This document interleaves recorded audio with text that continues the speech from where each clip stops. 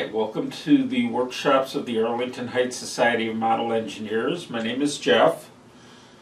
The club located in Arlington Heights, Illinois is an HO scale model railroad club. We're doing what will be hopefully the first of a series of videos on how to and model railroading. We're going to start with a basic freight car kit assembly, a hopper car by Accurail. We're going to go through the assembly and weathering steps. We're also going to renumber this the kit so that it's not an exact match to the completed car. Okay, so we're going to need some basic equipment for tools for assembling the kit.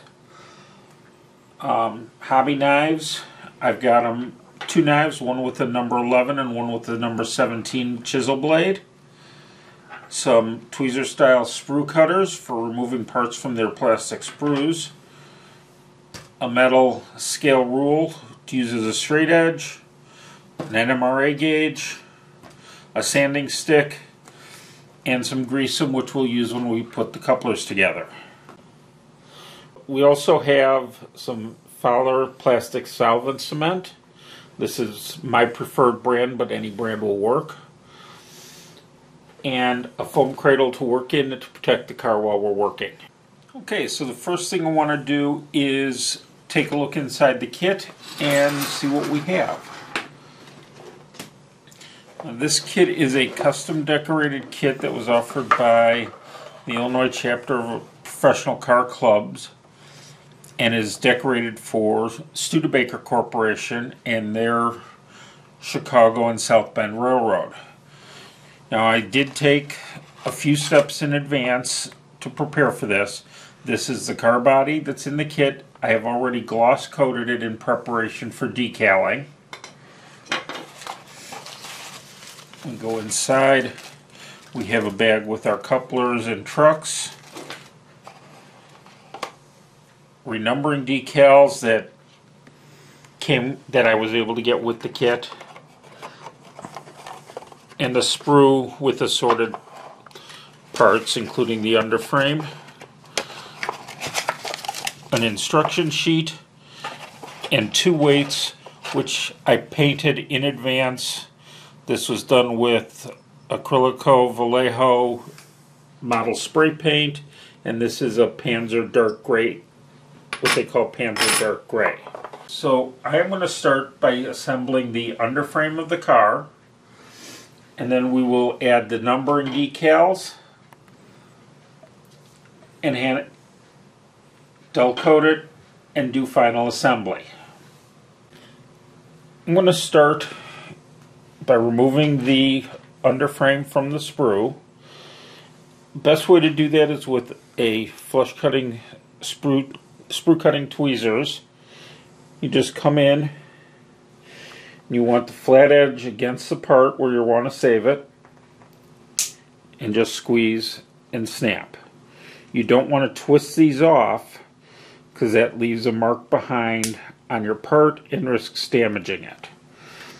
Once the part's removed, take a sanding stick, just a couple of swipes with it to take off and clean up any remainder. You can run a fingernail over to see if it's smooth.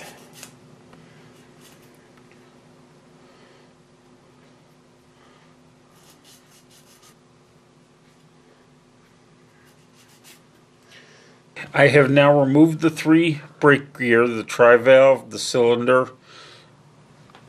and the piston from there, and we're going to assemble them onto the B end of the frame. You can tell the B end of the frame by the holes that are mounted for it. There's a small one here. Maybe easier to see if I point it out using the knife blade. And in here, and the mounting pad on top of the coupler box. In Well, this may not show on the camera, the holes for the brake cylinder is actually a half moon type hole so it orientates the cylinder in the correct way. So if we can get this in, the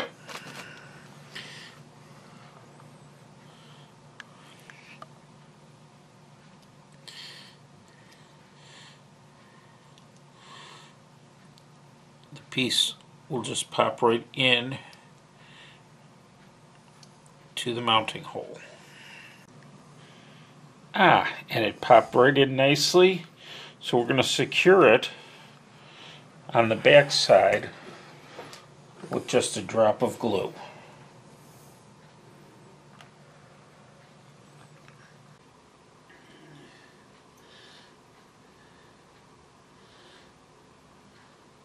So after we installed the reservoir, I installed the tri-valve and the brake cylinder in their locations. We're now going to set the underbody aside to let that dry and turn our attention to renumbering the car. So the next thing we're going to do is renumber the car. We're going to use renumbering decals from Accurail.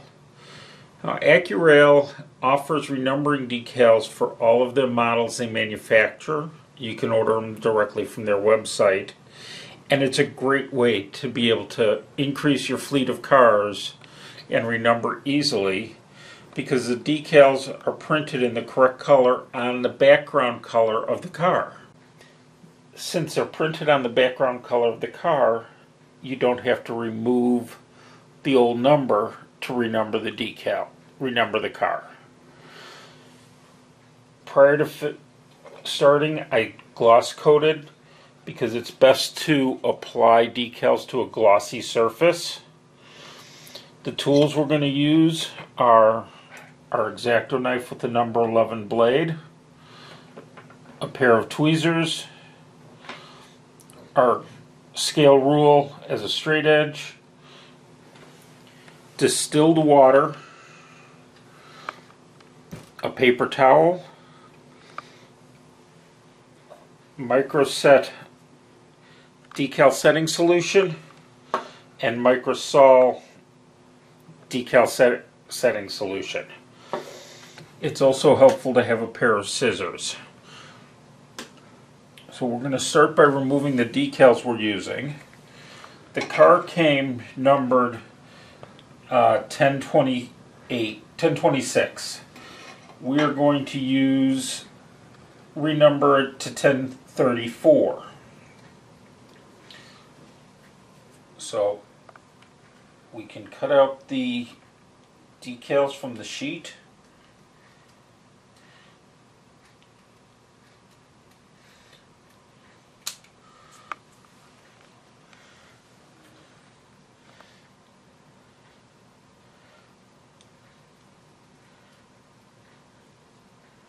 Take care to make sure you don't cut through your numbers.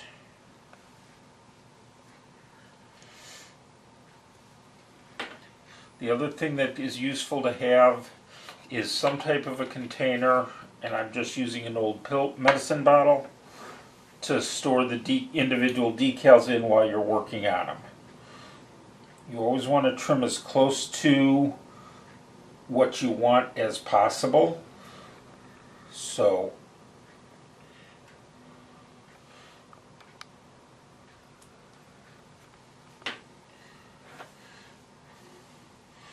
we can get in and just put the decals into our container. So now we're going to start with the decaling process. We're going to start by taking our decal for the side of the car. We will soak it in distilled water, and you always want to use distilled water so you don't leave mineral residue behind on your car. And that'll take about 10 seconds. We'll leave it submerged in the water. Then we'll set it aside on a paper towel while we apply our micro set setting solution to the car. We'll just put a small puddle where the decal's going. We will then take the decal slide it off the backing paper and into position and get it marked into position with a combination of paintbrush and a toothpick. We've got the decal. We're going to come over to our distilled water and we're just going to hold it under the surface of the water for about 10 seconds. And set it aside on our paper towel.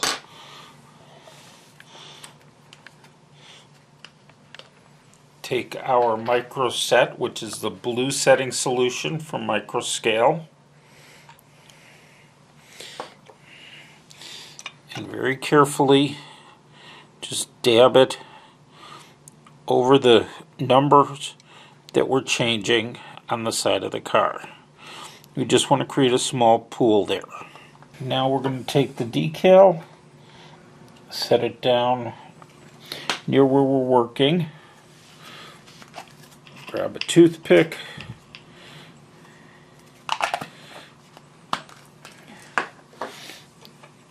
And gently slide the decal off the backing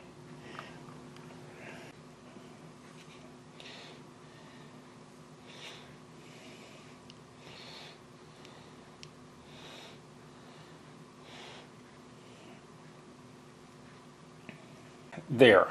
Now you may notice that the number has changed. In the process of putting the decal on, you may have noticed that I had trimmed it a little too large and it was covering this white stripe underneath. In attempting to trim down the decal after it had soaked, took too long, the glue had dried out and was made the decal unusable. So I cut out the next set of numbers on the sheet and switch to number 1031 for this car. The next step you want to do is apply Microsol from the red bottle. This is a stronger setting solution.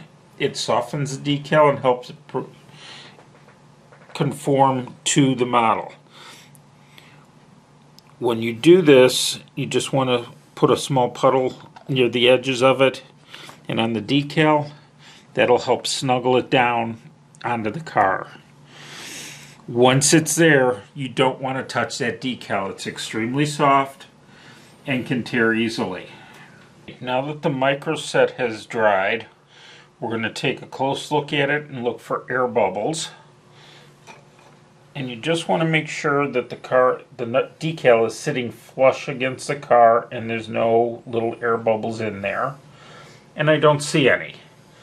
If I had, I would use my knife to just poke a hole in the air bubble and then we would apply more of the Microsol solution.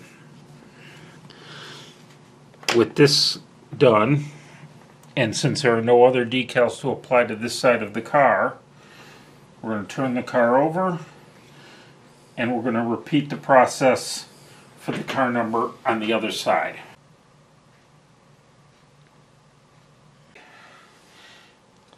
Again soak the decal for about 10 seconds and set it on our paper towel.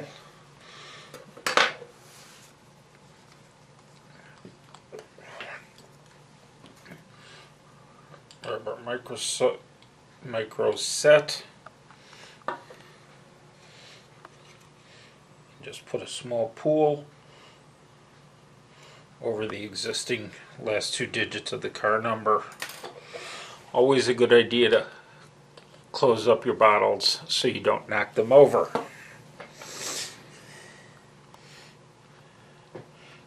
Grab our decal, make sure you have it right, set it down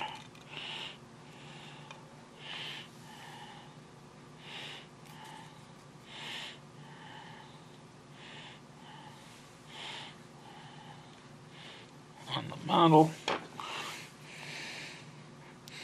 and use our toothpick to slide it off the backing paper.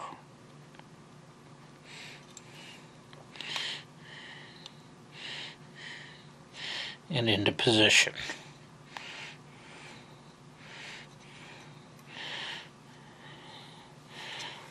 You sometimes have to move it up closer to your eyes, especially if you're older like me,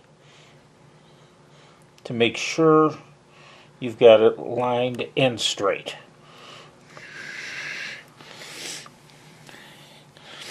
And then allow that to set and settle down and dry. Okay, once the decal's in set, we just want to give it a few minutes so that it settles down and dries. We're going to now add our Microsol setting solution to the bottle, to the model on this side. And again, just a dab of it on the decal we just put in place. With that on, we're going to give it a few minutes to dry, and then we'll tackle the numbers on the ends of the car. The Microsol has had a chance to dry, so we're going to take a quick look for air bubbles. And having light bounce off of it at an angle is a great way to spot them. And I don't see any here, so this side is good to go. Our next step is going to be to do the renumbering on the end, which is the same basic process.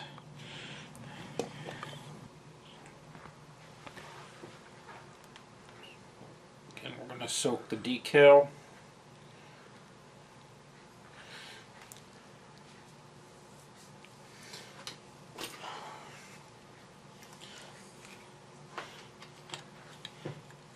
And apply our micro set.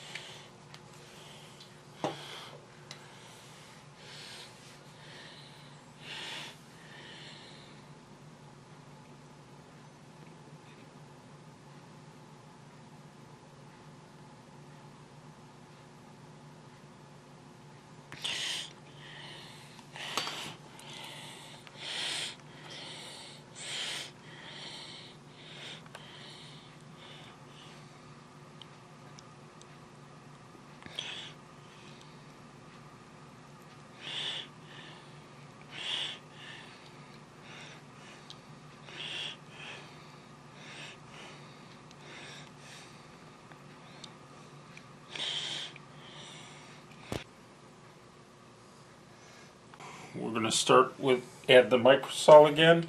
And by the way, this video is not sponsored, but these are products that I like and work very well.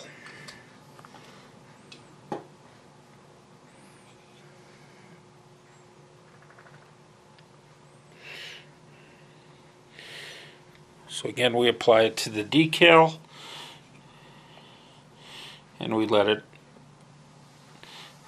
settle the decal down against the model. So these cars were produced as a special run by the Illinois chapter of the Professional Car Club of America. They represent cars owned by the Studebaker Corporation and their wholly owned railroad. It was their plant railroad in South Bend. It was the Chicago and South Bend Railway. And it was used as their implant railroad, but because they incorporated it as a separate entity, it interchanged with a number of railroads and work plants other than Studebakers. These cars were used to haul coal into the plant for their steam plant, their steam boilers and heating systems, and to haul out the ash. So we're going to check real quick for air bubbles and don't see any here, which is good. But if you do find them, just poke the air bubble with your hobby knife with your number 11, the tip of your number 11 blade and reapply the Microsol and that should settle it down and get rid of them. Last decal for the other end of the car and into the water it goes.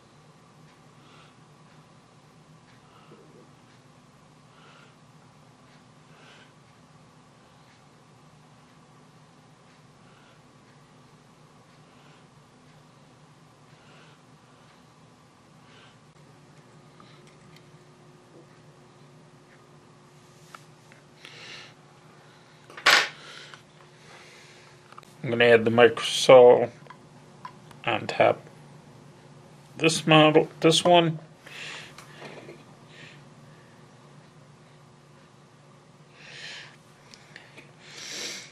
And let that snuggle down against the model. So with the couplers, or the decals now in place, we're going to give them time to really settle and dry before we add an overspray of matte finish, clear matte finish to them. I've already inspected the last decal for air bubbles and it's good to go. So we're going to turn our attention to back to the underbody of the car. We gave the brake gear equipment time to dry and that is settled in set nicely. So now we're going to install couplers. Now the kit comes with Accurail's Accumate couplers. The standards at our club are to use metal couplers. So I am using Kadee's number 148 whisker couplers. And the draft gearboxes and gearbox couplers that come with the kit. So we can use our sprue cutters to get in and remove the parts from the plastic sprue.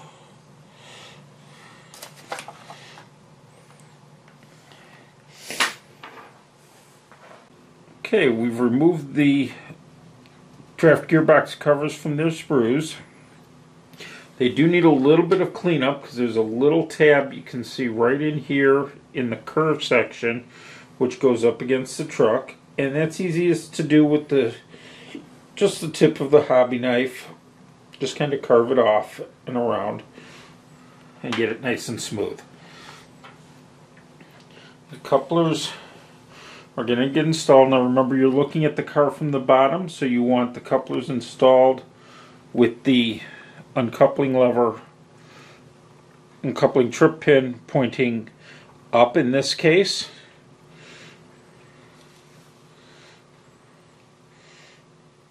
And then set the coupler cover in place and that curve will fit. Okay we're now going to install the couplers in the coupler gearboxes. You just set the coupler in place. One thing I actually like to do before that though is I will take a little bit of grease-em, um, put it out on a paper towel, and this is just a graphite, powdered graphite, and I will take a micro brush.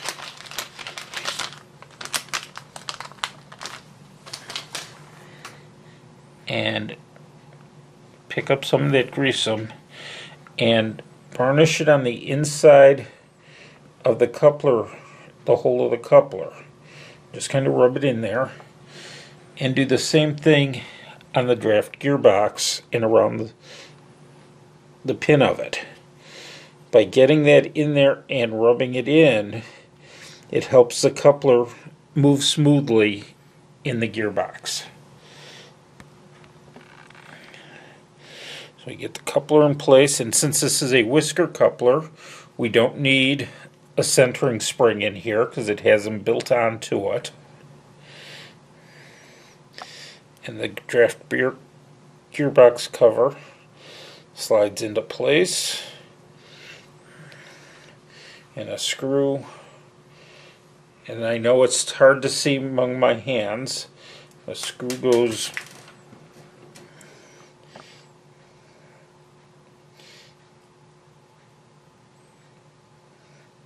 into the hole.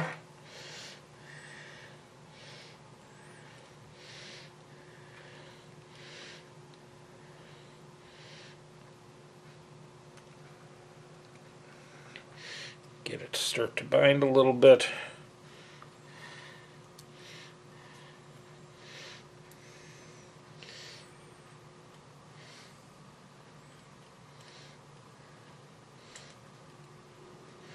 And just tighten it down.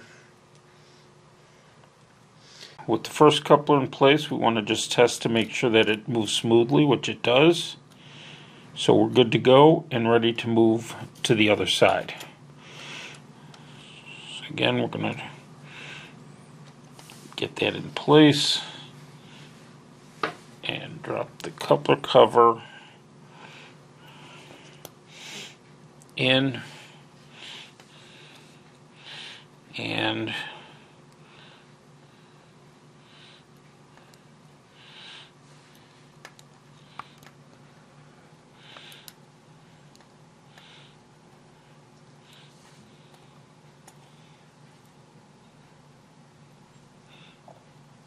get the screw in and then just screw the coupler pocket cover in place.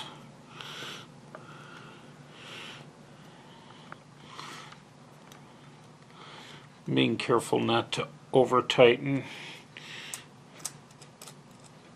You want to make sure the cover is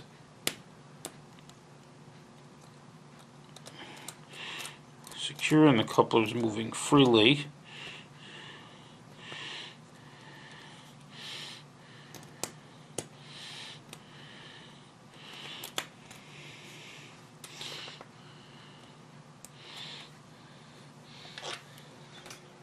and check your work frequently. If it's too tight and the coupler isn't pulling center, just turn the screw off a quarter of a turn. Now you're ready for your cup, your trucks. So we'll get those out of the truck bag. These are the Accumate two-piece couplers that come with it. We're actually going to discard those. The trucks I pre-painted with the same black that I used on the weight, the dark gray from Vallejo spray paints.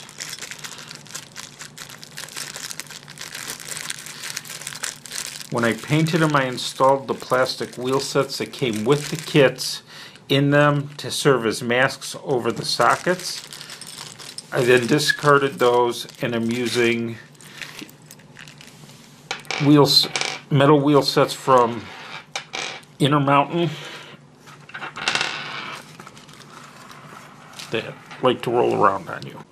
So the first step in doing the trucks is going to be using a tool such as this, which is a truck reamer or journal box reamer.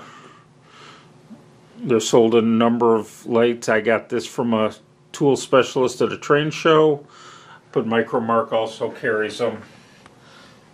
You simply insert this the way you would a wheel set into the truck and while applying pressure to the journals give it a turn and it will actually cut any flash out of those journals and turn until it, you feel it moving smoothly. Remove it clean out the cutting blade and flip it around to do the other side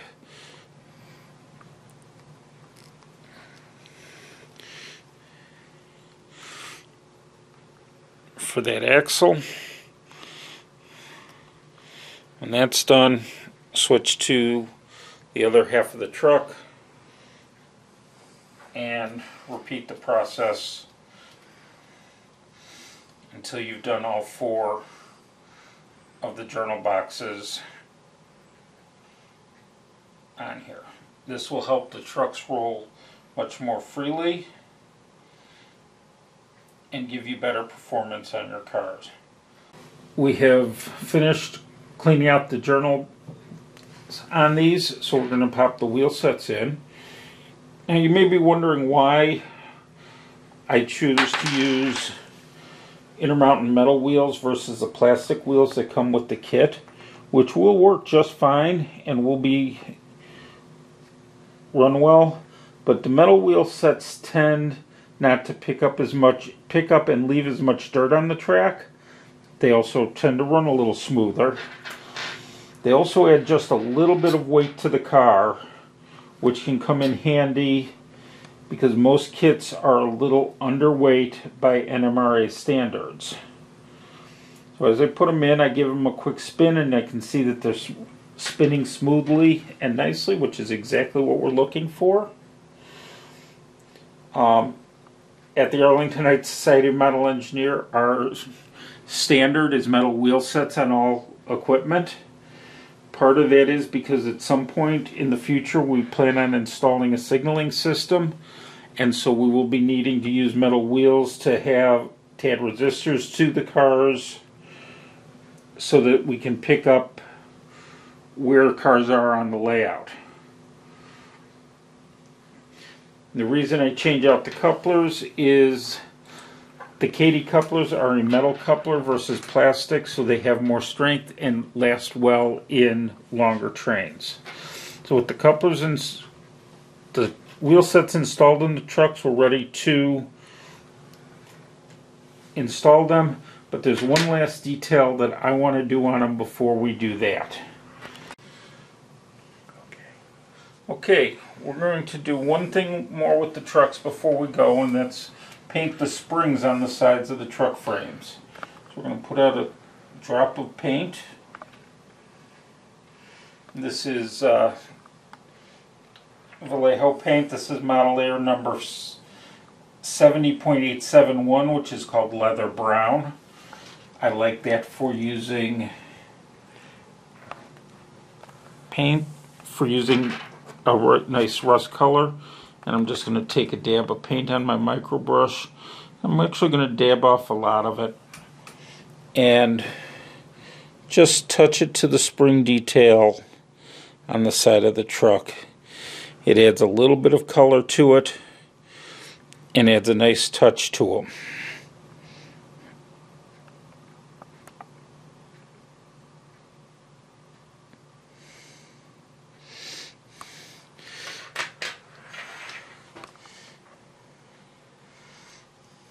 and we'll do the same thing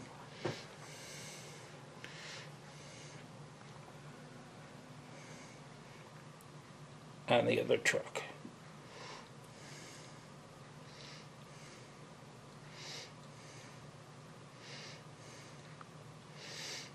Now we're going to install the trucks. Simply set it on the truck bolster and with our screw screw it in.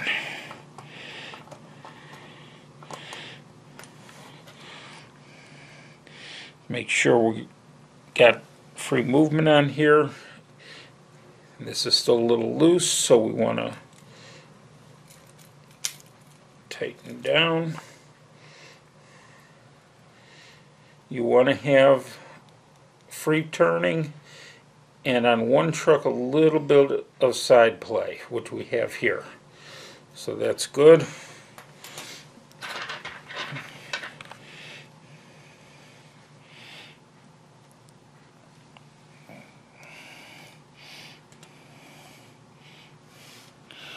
And we repeat the process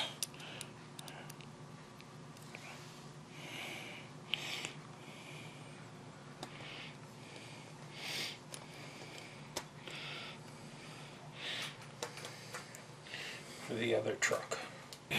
They're all attached. They spin freely and one has some tilt to it. So we've got a good point. One thing we did not do earlier is check the wheel sets with an NMRA gauge just to make sure they were engaged, which they are. And that's always a good thing to make certain of. They're easy to to twist out of gauge if you need twist them a little to get them into gauge. But I've found the Intermountain wheel sets very rarely have issues. So the next step we're going to do is we're going to take the body of the car outside and we're going to add a clear matte finish to it to seal the decals and get the car ready for weathering. I'm going to use clear matte finish. This is a Rust-Oleum 2X Painter's Touch. It's plastic compatible. You always want to make sure you're using plastic compatible paints with your models.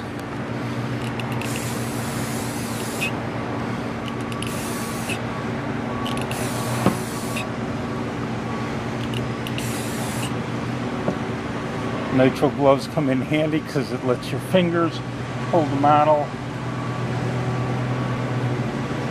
quick overspray. Give it a few seconds to dry off. Hit it again. You want to make sure you get all four sides.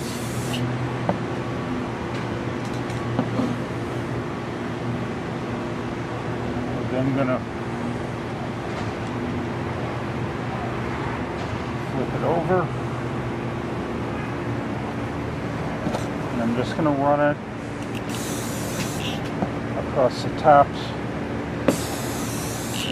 just to make sure we don't have any of the gloss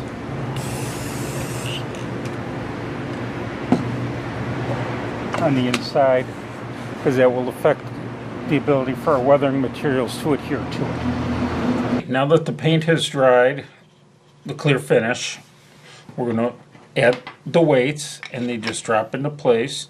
You can glue them, but it's not necessary.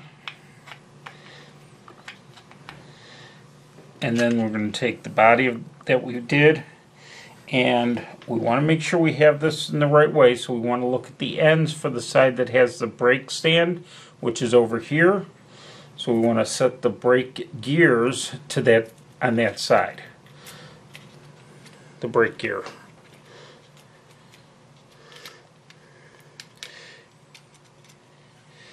And then this whole sub-assembly drops into place.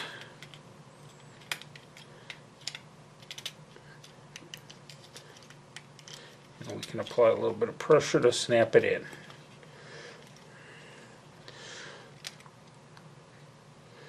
The next step is going to be to glue the mechanism that allows the hopper to open in place. And these parts are small and a little on the tricky side to get in. And they will not stay in place until the glue is there. But you want to kind of get them in and held in with a finger or two and then you can run a drop of glue along the edge and capillary action will pull it into the joint and let it hold in place.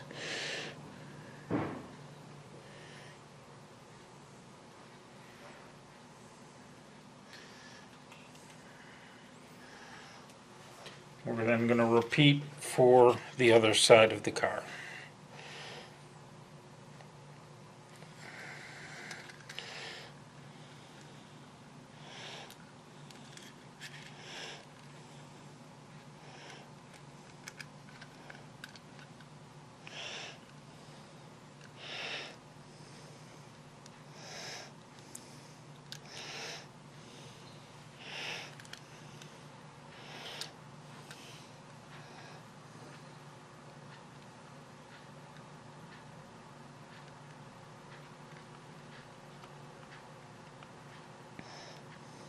Now that the glue is dried on these, we're ready to go into the final step, which is going to be the weathering of the car.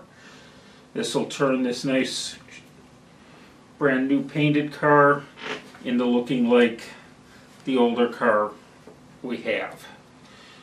For weathering, I use a number of techniques. Use one basic technique. I use a product called Pan Pastels.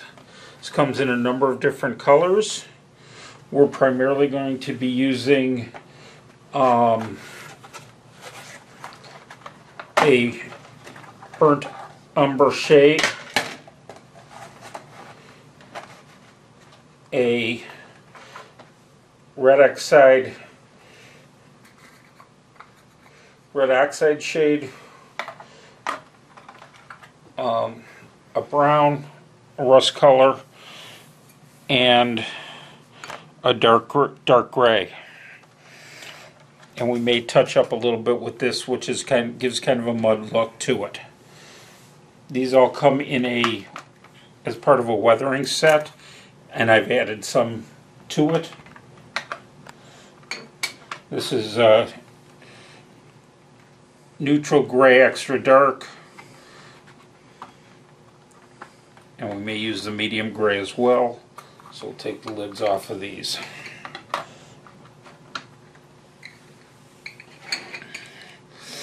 I use, this is a makeup sponge. Pan Pastel also spells, sells sponges. You can just keep using the same grungy sponges. Doesn't really matter.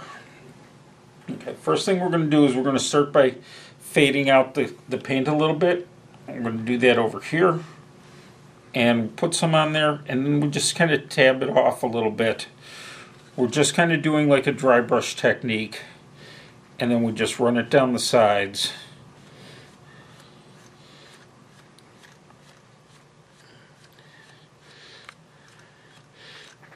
And it weighs it down. We can add a little bit of darker gray on top.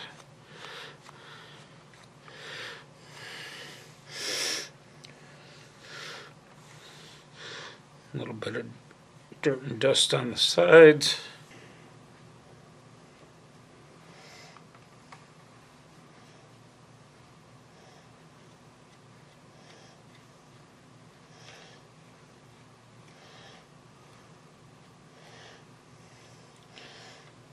Same thing on the ends.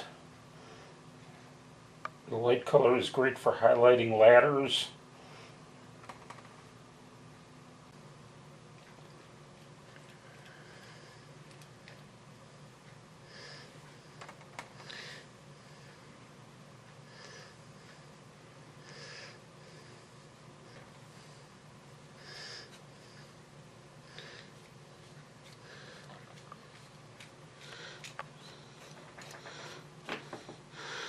Use a dry area of the sponge to highlight some, rub some off and reverse it a little bit to work it in.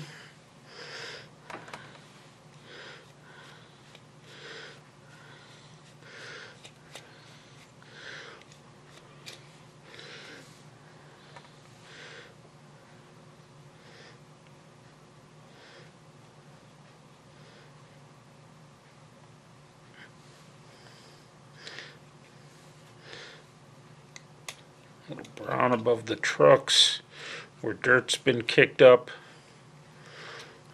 The inside, we'll start with some of the dark gray. Get the sides,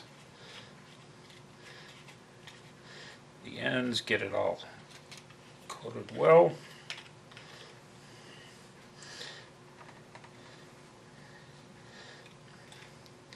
Add some rust on the to the slope sheets.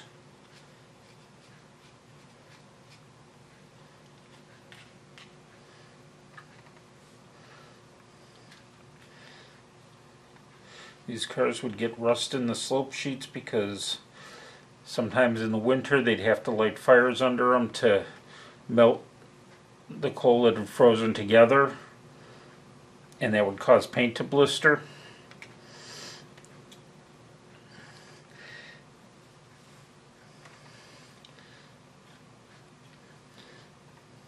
Again we need to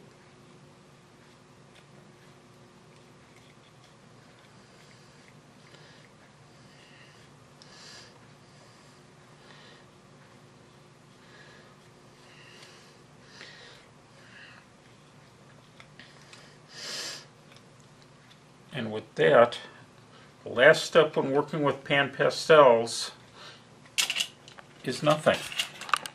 They will hold well to a matte, good matte finish, which is why we sprayed these with the clear matte finish when we were done. You don't need to seal these with an additional clear coat. They'll hold up to normal handling just fine the way they are. Overall, we've spent about three hours working on this. Now, I will say I did push through to the weathering stage a little quicker than I normally would. Normally, I would let that clear matte finish dry overnight before going into weathering. But as long as it's dried to the point where there's no discernible paint odor, you're good to go. And as you just saw, it takes a minute to weather a freight car with pan pastels. And if you overdo it a little bit, you can add a darker color on top to re remove it. You can use a clear, cleaner portion of your brush, your sponge to pull some of it off. And if worse comes to worse, you can wash it off with water and start over. So that's the basics of the car. Let's take the cars out to the layout and uh, see how they run. We're going to take them out to the layout. We're going to go out to our Waukegan area and Little Club's Ogren Motors plant.